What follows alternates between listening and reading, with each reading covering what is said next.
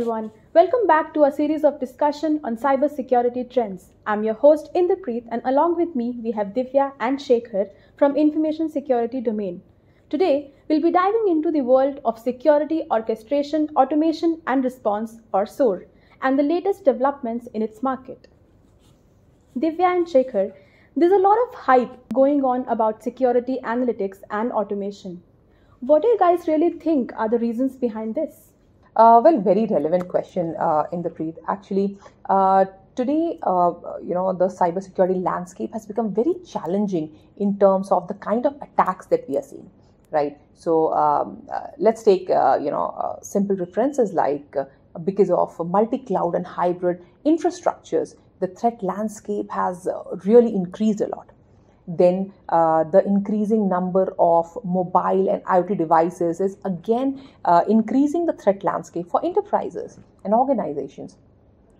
Also, with remote work, uh, devices are being connected to unsecured networks, which is uh, giving um, these attackers more, uh, you know, uh, options to ex- exploit the vulnerabilities that are present in the network.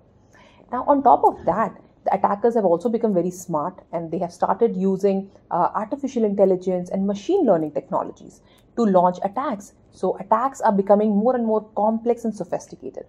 Now, if an organization is exposed to such different kind of attacks, it's obvious that they will need to use numerous detection solutions. Now, uh, these different solutions are definitely generating lot of threat alerts at any point of time and because of that it is posing huge challenge for SOC analysts today. You're right, Divya. There is a surge of threat alert identified by numerous threat detection tools. Analyzing these alerts is creating alert fatigue in security analysts and which is leading to analyst burnout and industry is already facing shortage of security analyst talent. Additionally, missing out on actual threat alert in the noise of false positive can have a devastating effect on the reputation of the organization. And these are the challenges SOAR vendors are actually working to tackle. Great. So, how SOAR vendors in the market are helping organizations address the challenges posed by the surge of data in their IT infrastructure? Uh, well, uh, Inderpreet to address these challenges, uh, what vendors are doing is that they're improving their automation capabilities and they're focusing more on big data driven automation. Uh, they are also using advanced analytics like predictive modeling so that they can identify threats and also offering dynamic response workflows which can adjust to the new attack types. Uh, also, capabilities like real time processing is allowing efficient analysis of large data sets and also uh, able to correlate information from different sources to get complete picture of the security landscape. In today's multi-cloud environment, Security analysts face daunting task of juggling between 70 90 tools simultaneously and leading to tangled web of enterprise domains, teams and protocols. However, vendors are coming up with innovative solutions like low-code automation and playbook builders. Uh, for instance, Swimlane Canvas. It is streamlining the orchestration process with its low-code playbook builder and it is easing the burden on analysts. Similarly, Torq is offering automation for orchestration and threat alert prioritization uh, along with case management automation as well, which is tailored to analyst expertise level. These solutions not only enhance efficiency but also address the scalability needs of dynamic uh, multi-cloud environments.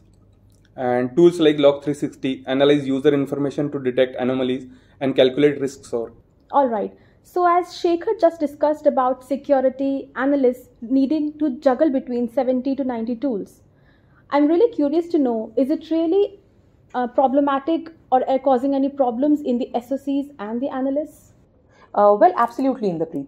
Uh, since uh, you know organizations are using so many different tools for threat detection, it is very important that these tools and solutions are well integrated with the SOAR solution. Uh, because uh, without proper rich data flowing into the SOAR tool and effective commands flowing out of the SOAR tool to other solutions, uh, it becomes very difficult for security analysts to accurately make decisions and respond swiftly to threats. Uh, also, there is one problem that the legacy SOAR integrations they fall short of uh, uh, whether we call it the depth or the quality in terms of integration capabilities. and uh, because of that what happens is that it results in a lot of manual analysis and uh, the SOC analysts have to do a lot of incident response tasks themselves. Hence, to avoid all this, what vendors are doing is that they are focusing on uh, you know uh, uh, providing features like unlimited vendor maintained integrations. And they are also offering diverse scripting languages so that they can connect with legacy security tools with ease. You have highlighted this excellent point divya about the importance of uh, integration in modern cybersecurity solution. Vendors like D3 Security are offering professionally built and vendor maintained integrations, which is ensuring nothing critical is overlooked during the ingestion process. And bidirectional integrations enable synchronization of smart SOAR incidents with the change in any other tool, which is enhancing the overall efficiency. Majority of the vendors such as Swimlane Turbine, ThreatQ are going beyond integrating with API by seamlessly connecting components through diverse scripting languages such as PowerShell, SQL, and Python. And let's not forget about vendors like Splunk, Palo Alto, and Trellix as well, who provide an extensive range of out of the box integration for various security stack components, including threat intelligence, case management tools, etc. Great. So, with these integrations comes a huge number of threat alerts.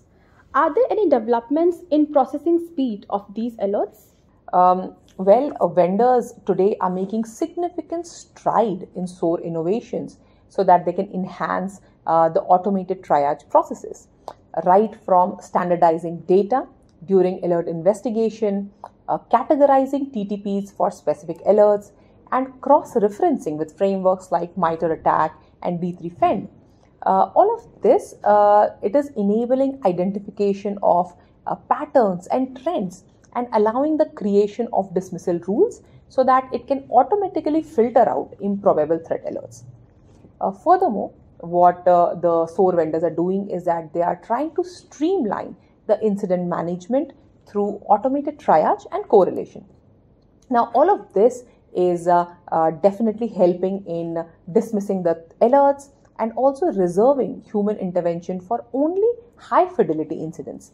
And now, this not only enhances uh, incident resolution but also empowers security team to prioritize critical tasks and they can uh, ensure a, good balance between uh, security posture. Absolutely spot on, Divya.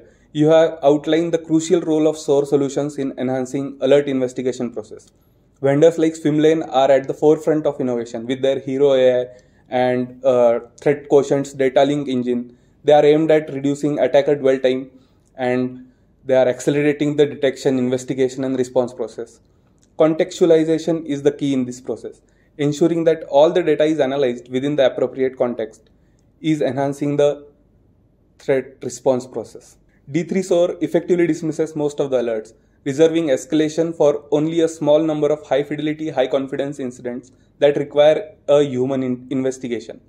This is made possible by their event pipeline, which conducts sophisticated triage by correlating alerts against identity data and past incidents. All right, Shekhar. So, what about the fa- false positives that are generated by threat detection tools in the market, Divya? Uh, well, great question because uh, we have been talking about you know these false positives. So, um, to address the challenge of false positives, uh, SOAR vendors are enhancing clarity for security team uh, so that they can focus on uh, real threats and they can minimize the time spent on false positives. Now, uh, they're doing this by implementing two automation tiers. Now, the first one is for triage, where which is applied for um, each incoming alert, and the second level of automation is for uh, um, you know investigating and remediating only the validated and verified incidents.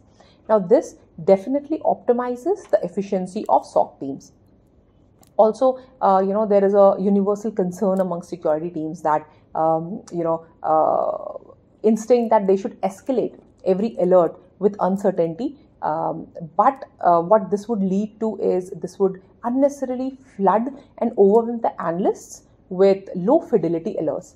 So um, and uh, of course because of that there will be a lot of time unnecessary time which will go on investigating false positives so, therefore, it is very important to strike the right balance uh, to ensure that only genuine alerts uh, are uh, sent and genuine alerts are not overlooked.